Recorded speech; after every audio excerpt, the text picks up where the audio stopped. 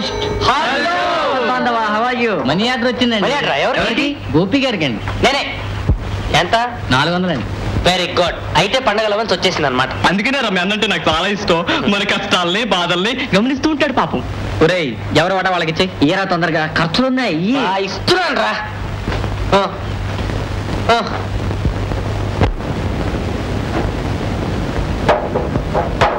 ఏమిటి? వెనక్గా వచ్చేస్తున్నావు. ఆఫీసుకు కూడా తగలడి అక్కడ కూడా.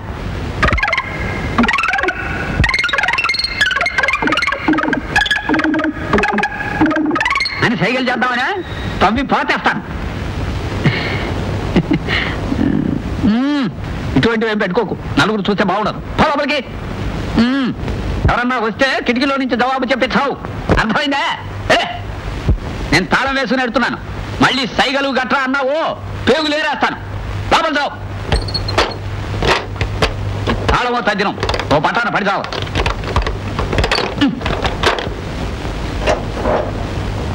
no.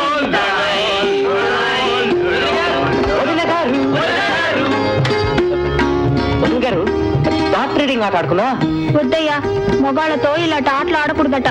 మా వారు కోపడ్డారు పోనీ ఇంకో కొత్త రకమైన ఆట ఆడుకుందాం. ఏంటది? మీరు సినిమాలు ఎక్కువగా చూస్తారు కదా. ఆ, ఎక్కువ ఎక్కడా? నెలకు పదో పదిహేను సినిమాలు చూస్తాను అంతే. అవి కాదు చూడండి. పాత సినిమాలో ఏదైనా డైలాగ్ని ఒక ఐదున్నర రాసి మేము మీకు ఇస్తాం. ఆ డైలాగ్ ఏ సినిమాలో తెలుసుకుని ఆ సినిమాలో ఆ డైలాగ్ తర్వాత ఎవరేం మాట్లాడతారో అవి మీరు ఆ కాగితం మీద రాసి మాకు ఇవ్వాలి. అంతే. ఏ సినిమాలోదో తెలుసుకుని ఆ మాట తర్వాత మాటలు రాయాలా? బాగుందే? బాగుంటుందండి. ఇది కూడా జ్ఞాపక శక్తిని పెంపొందించే ఆటే వదిన గారు. ఏదో ఇలా ఆటలాడి మీరు కాస్త తెలివితేటలు పెంచుకుని మీ వారి నుంచి తిట్లు తినకుండా ఉండాలి మా కోరిక వదిన గారు. మా బంగారే మీరు కాబట్టి నా గురించి ఇంత శ్రమ తీసుకుంటున్నారు. ఇంకెవరు పట్టించుకుంటారు బాబు? ఆ ఆట ఏదో మొదలెడదామా?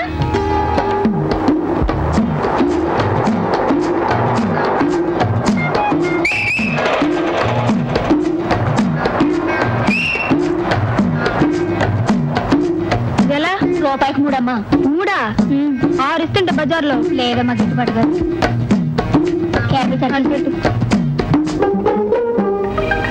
బీరకాయలు ఎలా రెండు రూపాయలు కేజీ. రెండు రూపాయలు. రూపాయలకి కొన్నదే రూపాయన్నరమ్మ అక్కడ. సరే టమాటాలు?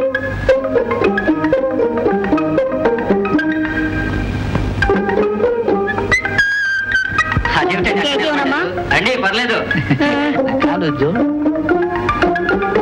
కేజీ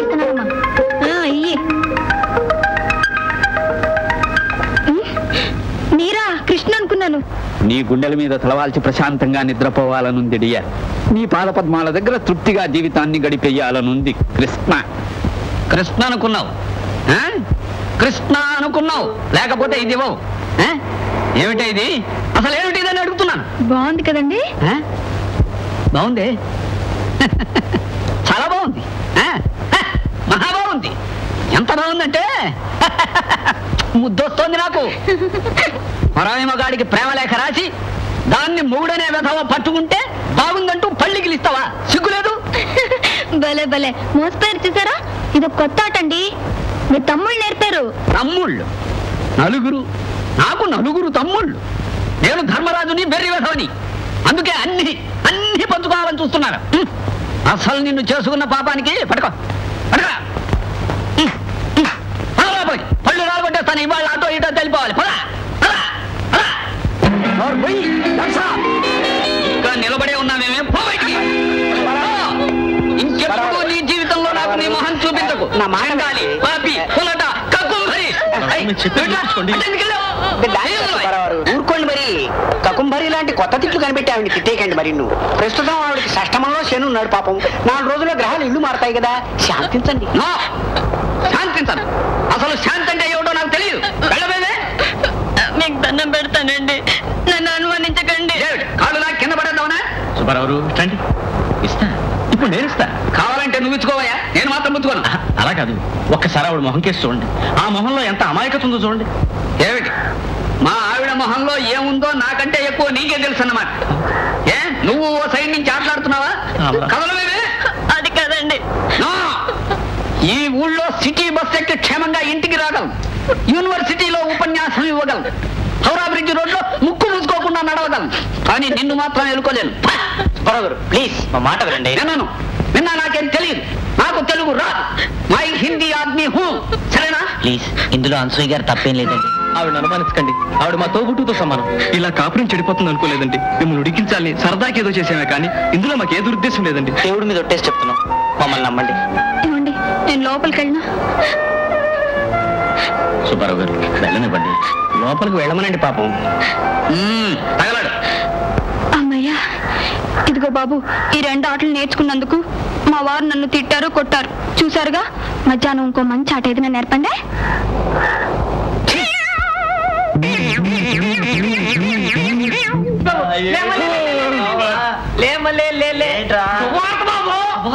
మనసు తప్పకుండా చెప్పోయా ఏమిట్రా సుభార్త సుబ్బారావు రాత్రికి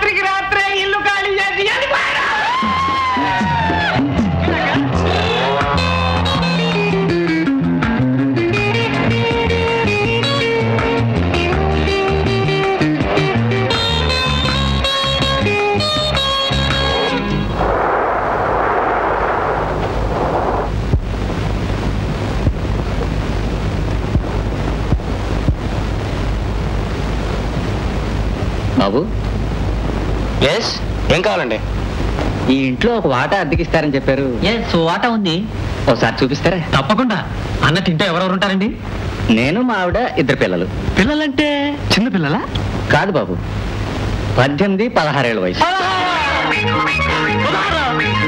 కూర్చోండి సార్ కూర్చోండి కాఫీ పట్టారా? చూస్తూ టిఫిన్ పట్టారా? మీరు కూర్చోండి సార్. అవును పిల్లల పేర్లేమిటి సార్? రమణ నారాయణ.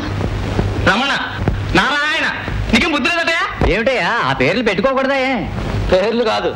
మా ఇంటికి వచ్చి వాట అతికిస్తారా అని అడుగుతావా? నేనే డబ్బు కోసం పడి చచ్చిపోతున్నావు అనుకున్నావా? అది కాదండి బయట టూలెట్ బోర్డు ఉంది కదా. అది టూలెట్ కాదండి టాయిలెట్. డైరెక్టర్ తప్పు రాశాడు. నైనా వెళ్ళి. తప్పు. ఇంకెప్పుడు ఇటుకేసి నాకు వెళ్ళి. పద నాయనా, పద పద.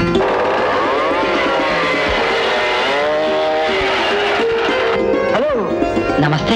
Good morning. Good morning. Late అయింది. సారీ ఈ ఇంట్లో అద్దెకిచ్చే వాటా ఉందని విన్నా. ఉంది. ఉంది. మీకోసం వచ్చాం.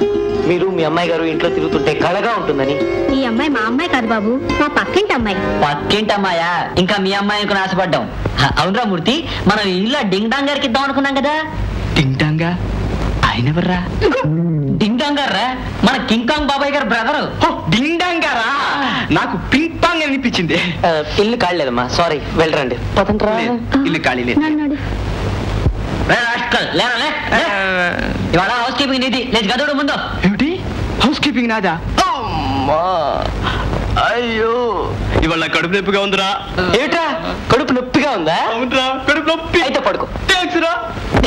ఇంత ఇదిగో కుర్రాళ్ళు లేచారా? ఇల్లు కావాలంటే ఓ అమ్మాయి సమ్ము.